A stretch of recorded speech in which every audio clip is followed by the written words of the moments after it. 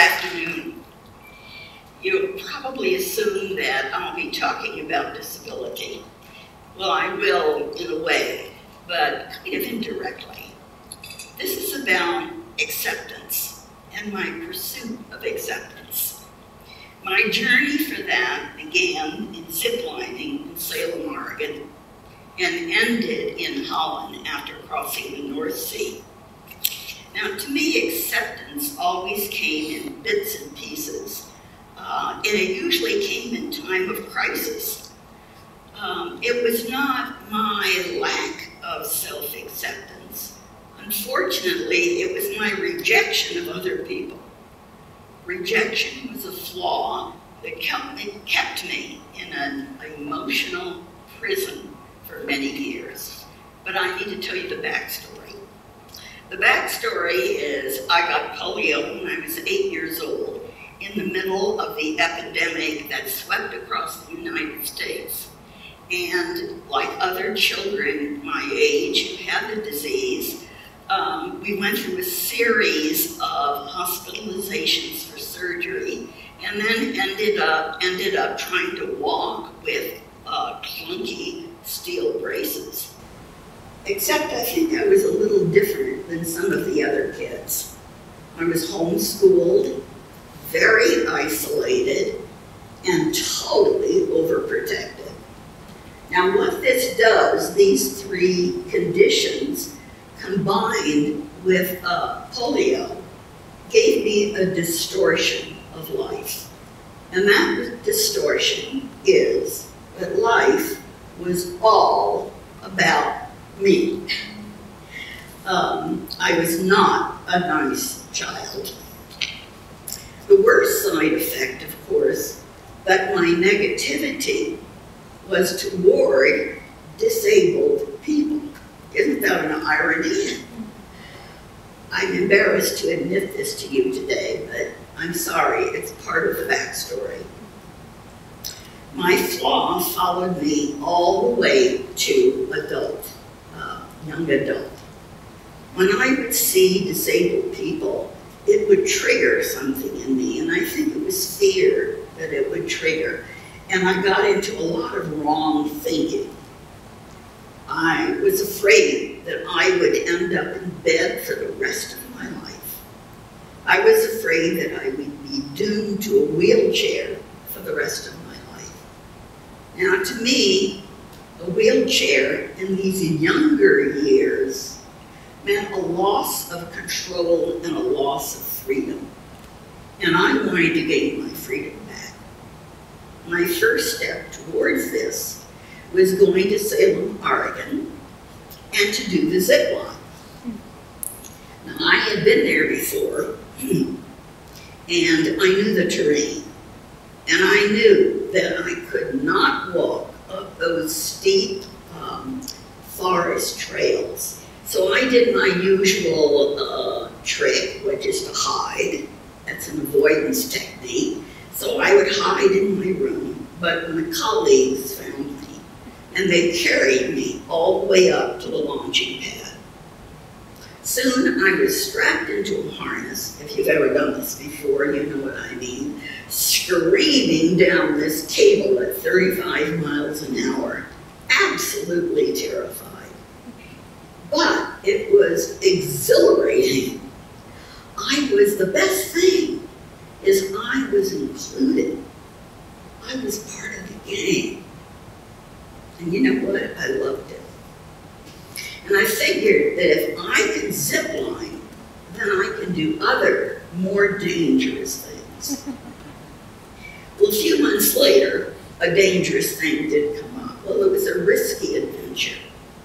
I signed up for a journey on the tall ships in London. This was three-masted, 18-sail ship. We sailed out of London, across the North Sea, and our destination was Holland. Well, my shipmates, can you guess? course. There were 10 more, people than me. Brain injured, blind, stroke, cerebral palsy, I had to face my ugly prejudice. In the small quarters of the ship, particularly below, below ship, it was really hard to avoid these people.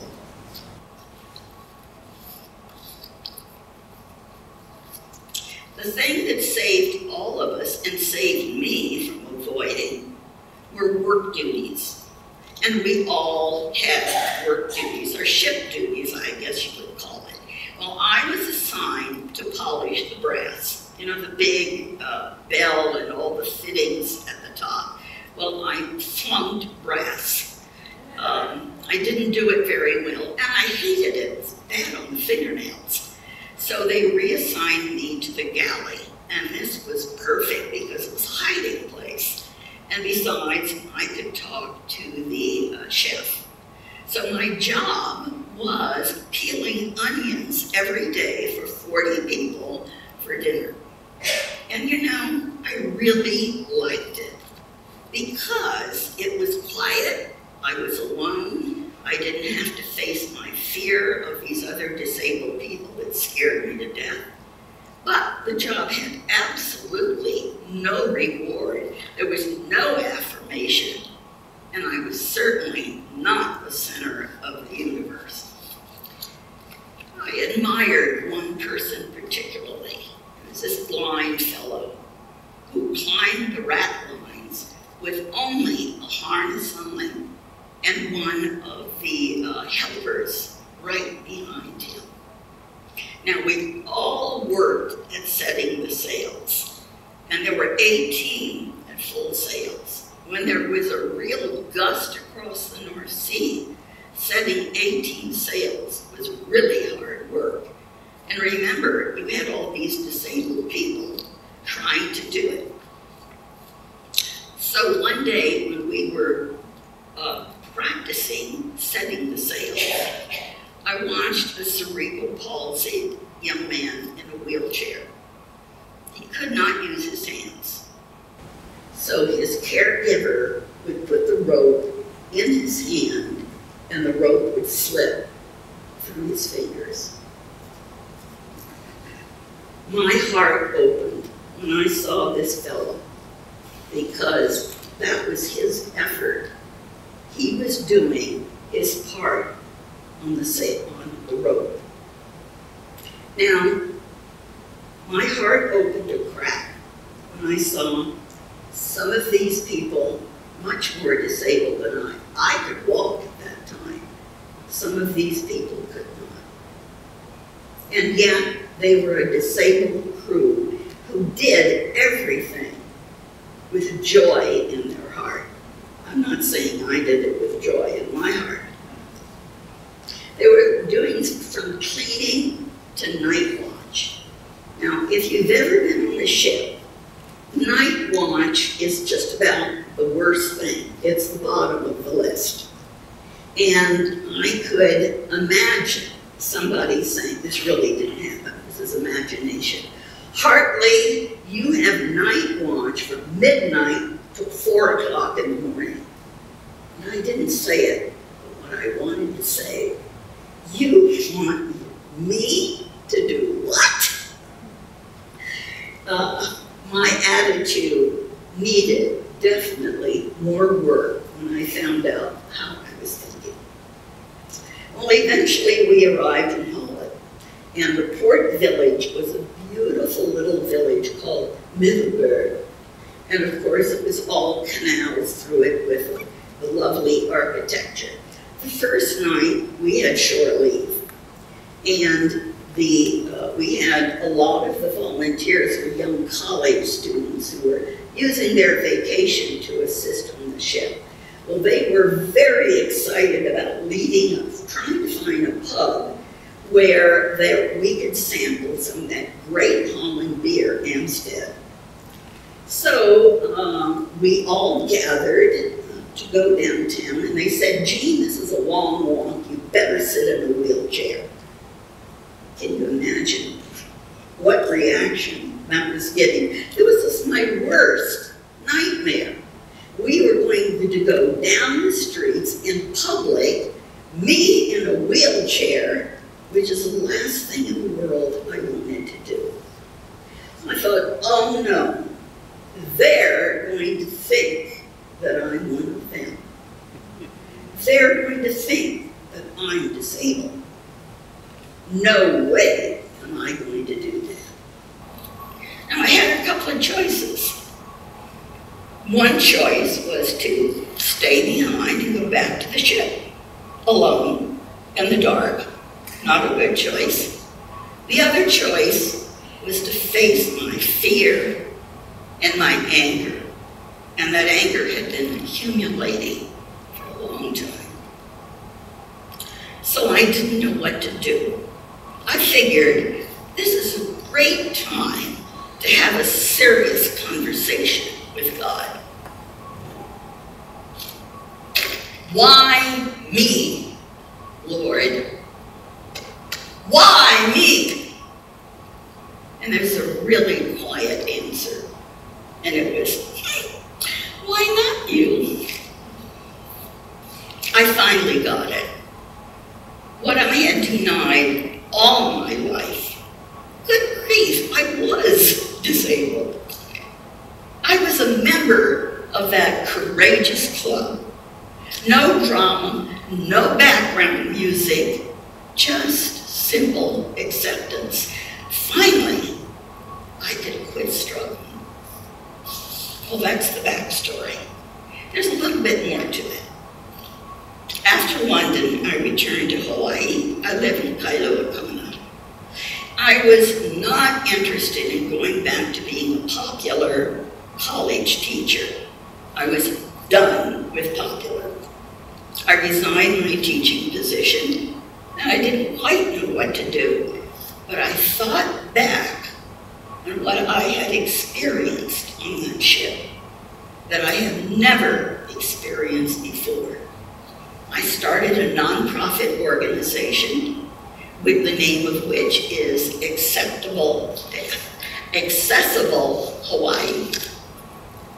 This experience on the ship gave my life a purpose, and I wanted to pursue that. We've done some very good projects in this community. The last one that was really exciting was we had a reception for the challenged athletes in Ironman.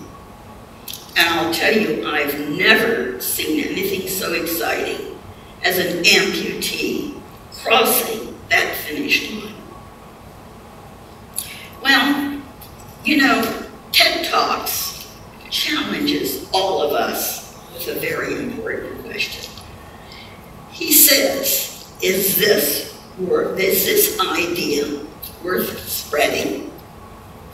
Well, my answer is ask the wounded warriors in the VA hospitals all over the United States. Or you can ask me. Or we can ask an author I think you know, Khalil Gibran. I woke and saw that life is all service. I served and saw that service is joy. Albert Schweitzer agrees with you.